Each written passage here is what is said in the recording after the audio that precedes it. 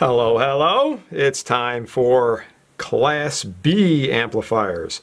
We're going to look at large signal analysis of a Class B configuration, which is going to solve some of the issues we had with Class A.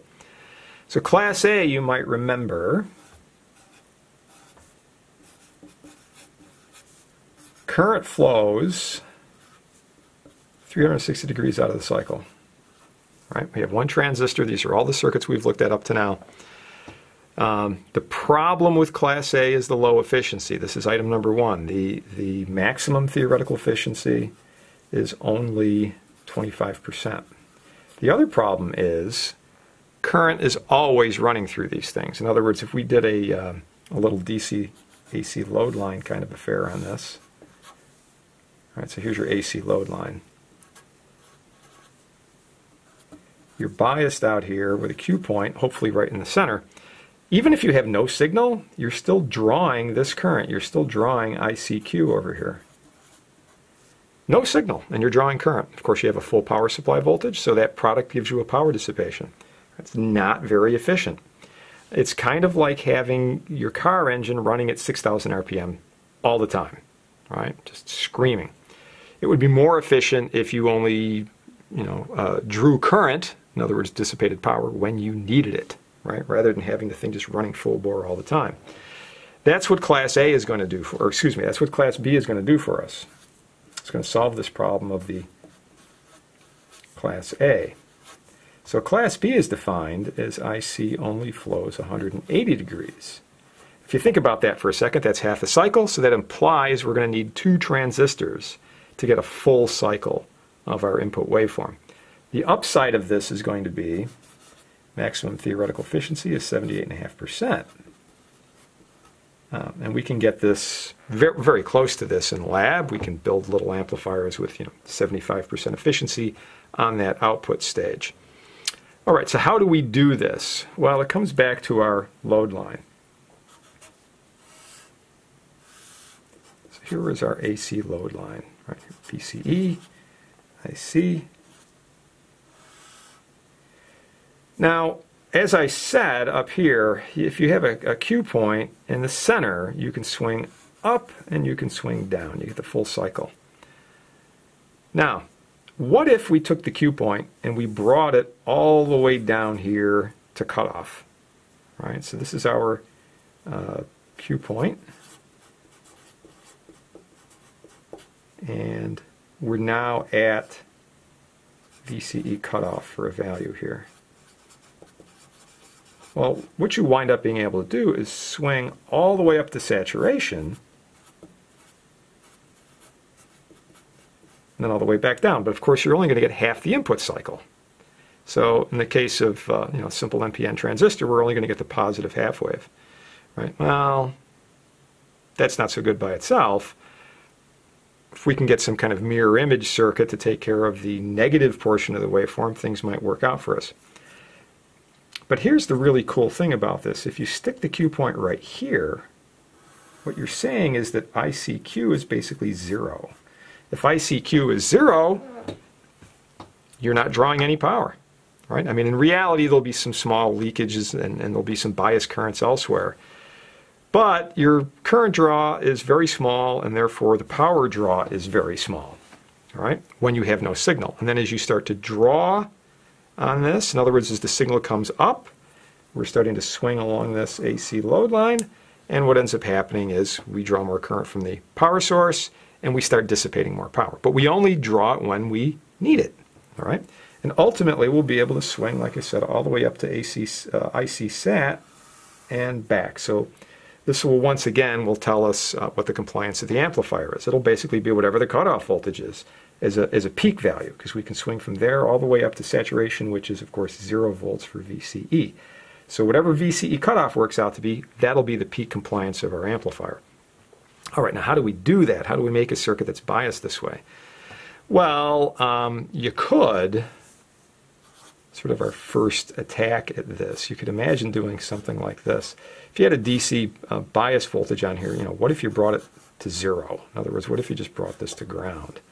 And you had a load resistor out here, like a, a voltage follower, right? So you could basically have the, the Q point on this thing, um, you know, right at zero. This is not at all a practical circuit, of course, because you have a dead short right on the front end. And if your input current's coming in, well, you know, it's going to get shunted directly to ground by this short rather than going into the transistor. All right, well, as I mentioned earlier, we're going to need two devices because the current's only going to flow for half the cycle. So what if we make a mirror image of this, a complement of this? What do we wind up with? Well, we would wind up with something that looks like this. So I've got an NPN over here. Put in this little biasing resistor. And I'm down, down here, I'm going to put in a PNP. And we'll run that down to a negative power supply. So this is a positive power, and this is negative power. And this will also have a biasing resistor.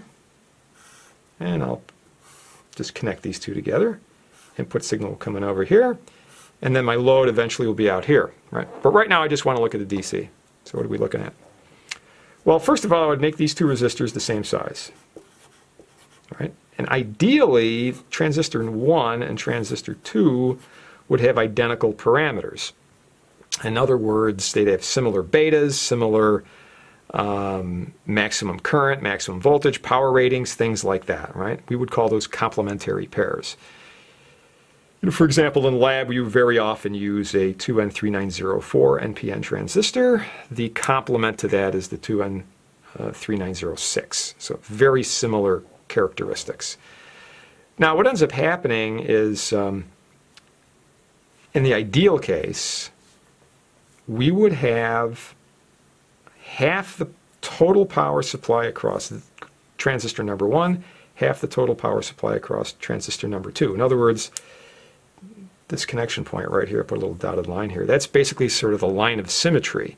And if these two power supplies are symmetrical, which ordinarily they would be, in other words, like plus and minus 25 volts, plus and minus 50 volts, something like that, um, we would see sort of the positive supply sitting across Q1 and the negative supply sitting across Q2.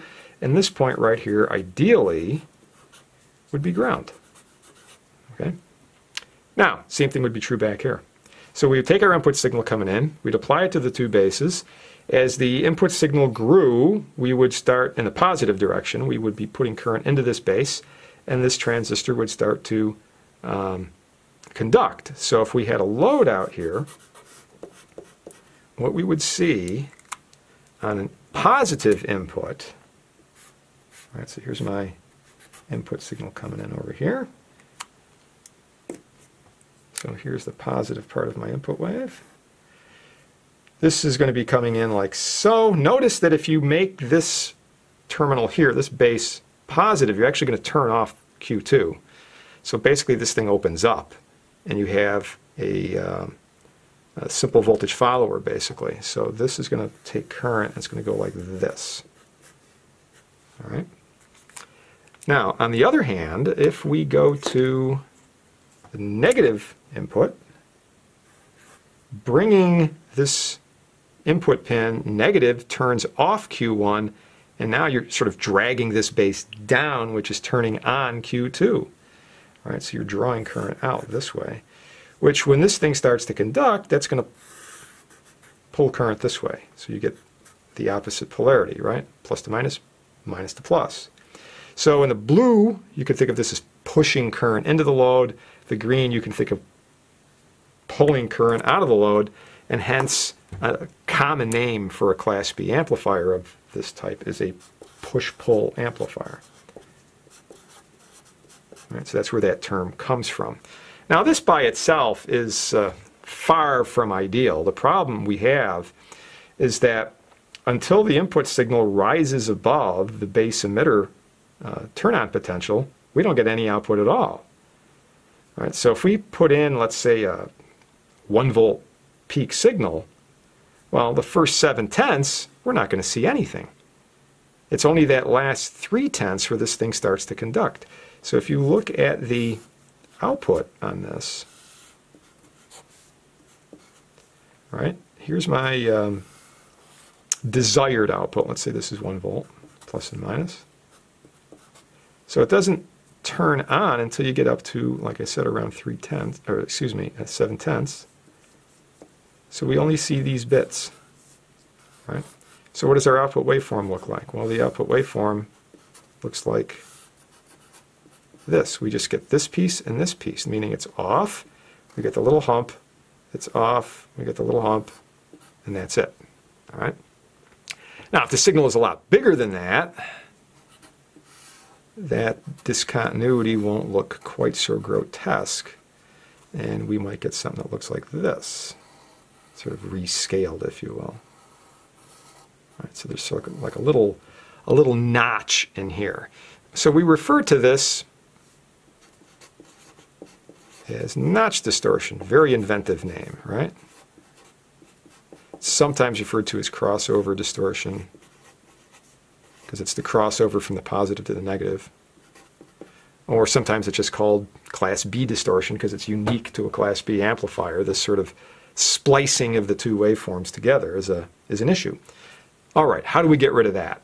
Well, the obvious solution to this is to um, bias this up a little bit. In other words, don't have a dead short here, put a couple resistors in. If I'm smart about it, I'll set up the DC voltage across those two resistors to be around 7 tenths of a volt, 6, 7 tenths of a volt. So that way these transistors are barely on, right? They're just sort of above the knee of the curve. So it won't take much of the positive signal before it turns on. Same thing for the negative signal. That will drastically reduce the amount of notch distortion. It won't literally go to zero, but um, it'll really, really reduce it. Now, people will sometimes, to, to distinguish between that sort of operation and this true Class B, they'll sometimes call that Class AB. You know, it's really just a cor corrected Class B. You have this little trickle bias, so to speak, this idling. It's just like you know a gasoline engine car. You don't um, when you stop at a, a stoplight, you don't, uh, you know, the engine doesn't turn off completely. You know, it's it's idling. It's running at a low, a low RPM. So it's the same kind of deal here. You have a little idle current, if you will, to prevent this sort of notch distortion, or at least mitigate it, reduce it considerably. The problem with using a couple of resistors is that the uh, thermal characteristics of the resistors they don't match up with the um, the base emitter junction of these transistors. Now this is a linear current voltage characteristic, and this is a logarithmic junction, so it's kind of a sensitive circuit. A better way to go about this is to get something in here that will match the characteristic of the base emitter junction. So typically what we would do is uh, use some kind of diode bias on this, and this is what we'll have. Again, my positive and negative power supplies. I'll just put a couple diodes in here. Now, these diodes, ideally, will have the same p-n junction characteristic as the matching transistors. All right. I could throw my signal in here. Now you might be thinking, hey, wait a minute, how is the signal going to come up through here? Because I've got this diode. Isn't that reverse biased? No, it's not because you actually have a DC bias current that's flowing down like this, which turns this um, diode on, both diodes on. So when we throw in the AC signal, all we see here is the dynamic resistance of this diode, which is very small. It's calculated the same way you would calculate R prime E, 26 millivolts over the diode current. So that's a very small resistance. Uh, we can improve that maybe by putting a little capacitor across these things to um, to reduce the AC impedance even further, so there isn't uh, an asymmetry, if you will. Um, but this matches up with the characteristic of the base emitter, so this is a much more stable approach. It's essentially um, sort of a variation on a current mirror, sort of a simplified version, very simple version of a current mirror. So here's the basic current mirror. Here's our transistor resistor, put a diode in here. Um, notice from the base to the emitter, right, you've got a 0.7 here, you've got a 0.7 here. If the current that you program down here is a lot bigger than the base current, you can ignore it. So what will end up happening is this power source, you know, whatever this differential is, all of that except for one diode drop drops across this resistor. that would set up whatever the current is. That current, ignoring the base current, flows through this diode and that produces a very specific voltage. In other words, if you think of your diode curve, right? So whatever that current is, that'll produce a very specific voltage. You know, let's say it's 0.663 volts, okay?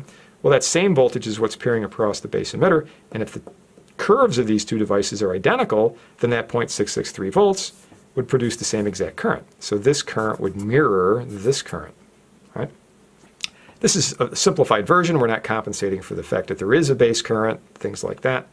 But essentially, if, if we did have a perfect match and everything was fine, then we could program what this uh, uh, idle current is through the use of these resistors, right? So all of the power supply less the diode is what falls across this resistor. All of this power supply less the diode is what falls across this resistor.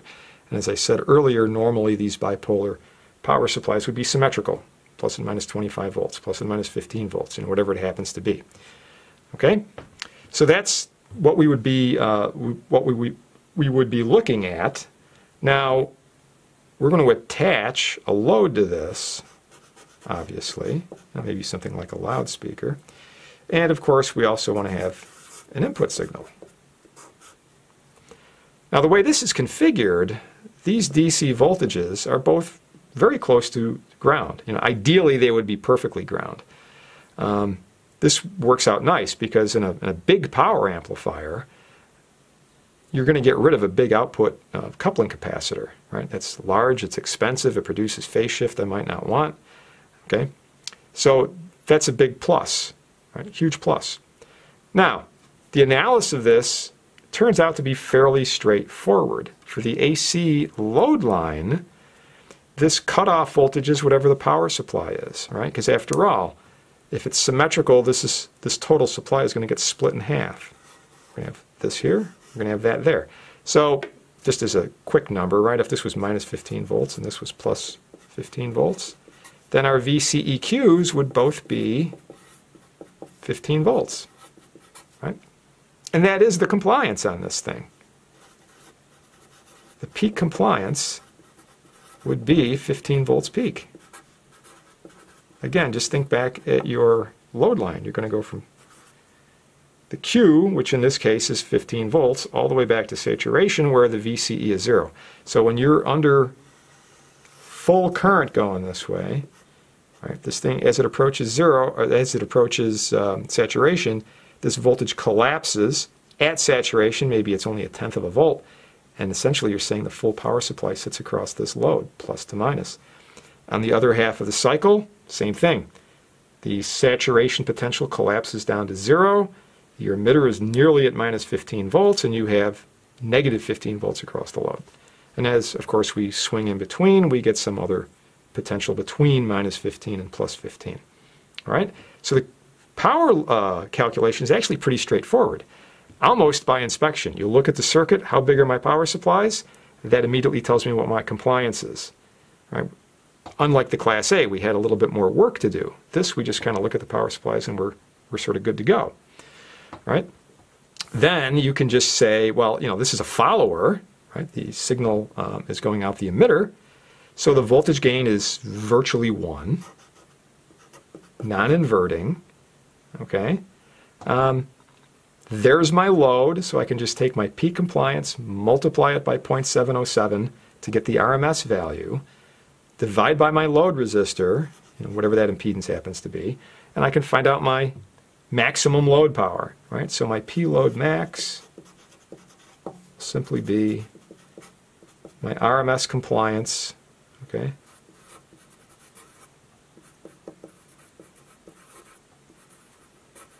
Squared divided by my load. And if you think in terms of, uh, like I said, a split power supply, the compliance RMS is just going to be uh, 1 of the square root of 2, 0.707, times your power supply. Right? You got that? You divide it out, boom, you got your maximum load power. One thing you see immediately in this case is the bigger the voltages are, the more power you get, right? And, it seems to kind of go sort of forever. bigger voltage, bigger voltage, bigger voltage. You know, the bigger it gets, um, the bigger the swing is, bigger the power. So, you know, if I have an audio amplifier and it's going to produce, you know, 200 watts, 400 watts, 700 watts, you know, some crazy amount, we might be looking at really big voltages out here. You know, we might be looking at uh, 85 volt power supply, um, 150 volt power supply. Quite literally, the um, power supply that feeds this circuit might have a step up transformer rather than a step down transformer. In other words, 120 volts coming in from the wall in North America, and you might have more than 120 volts coming off the secondary of the transformer. Go figure, just because you need that big high voltage. All right. Now, last thing, since I've already talked about the gain and the load power, what about the input impedance on this thing? Right? How do I figure out the ZN? You know, what does my driving source see? Well, to a first approximation, we can ignore the, the impedance of the diodes. So what we have are these two resistors, R1 and R2. Right? In the AC case, they wind up being in parallel. Remember, your power supplies go to an AC ground. All right. And then we see the basis of the two transistors. The thing to remember here is only one transistor is ever on at any given time. So you see one of the two ZN bases. Right? For positive signals, you're going to see the NPN. For negative signals, you're going to see the PNP. So what is that value? Well, basically, because this is a follower, Z in base is beta times whatever your load is. Again, we can treat the R prime E value as just a distortion mechanism. It's not going to be an appreciable value. So we can just kind of ignore that in these calculations and just say, okay, well, the Z in base is roughly equal to beta times my load. And that will tell you the input impedance that this source sees. All right? Okay, so next time we'll run through an example with some numbers in it. There are a couple other things we want to look at. For example, you know, what's the power dissipation on these transistors? What about a voltage rating, you know, a breakdown voltage rating, a maximum current rating? Those are all things that we're interested in, and we'll look at those next time.